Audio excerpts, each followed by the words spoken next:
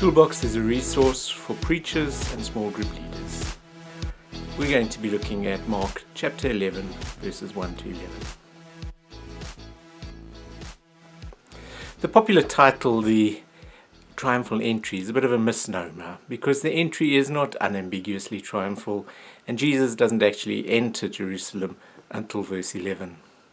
Though some scholars have suggested that this is a deliberate street production uh, done to provoke talk about messianic ideas.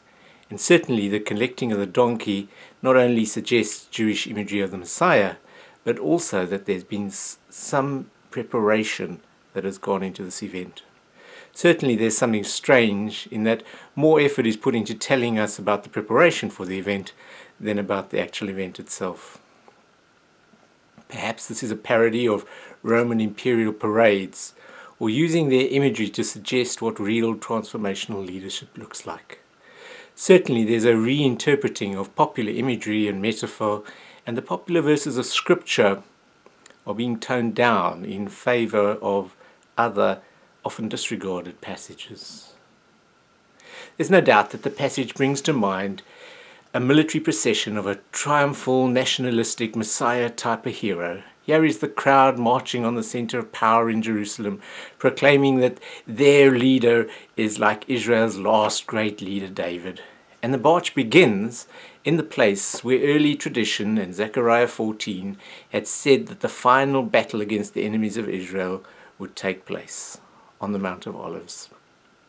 A few hundred years before this, Simon Maccabeus had led a successful military revolt which brought a short period of independence for Israel. This procession brings to mind his triumphal entry into Jerusalem with praise and palm branches and with hymns and songs. You can find that story in 1 Maccabees 13. In AD 66, around the time Mark's Gospel was being written, a zealot movement called the Sicarii had begun what seemed to be a successful struggle to rid Jerusalem of the Romans. The Sicaries then led a kingly procession into Jerusalem, even while they were still fighting to capture the Temple, temple Mount. Josephus tells us that Menahem took some of the men with him, broke open Herod's armory at Masada, distributing the weapons to be used by his guards as he returned in the state of a king to Jerusalem. He became leader of the uprising and gave orders to continue the siege. The parallels to Mark 11 are noticeable. Jesus doesn't procure a war horse, however, but a humble donkey. And Mark is making a big thing of the fulfilling of another quite contrary part of the Zechariah tradition the Messiah who comes to Zion meek, riding on an ass, Zechariah 9. And this text also brings to mind the liberation of Jerusalem tradition, but it's expressly anti military in its tone. And we'll see that the Mount of Olives is in fact used for the purpose of judgment in Mark 13. This narrative is not out and out militant and military, and perhaps points in the opposite direction. Perhaps the parade is asking the question of what does genuinely transformative leadership look like? In a kind of parody, contrasting Jesus' destiny on the cross with the popular messianic expectations of the disciples, of the reader, and of the crowd.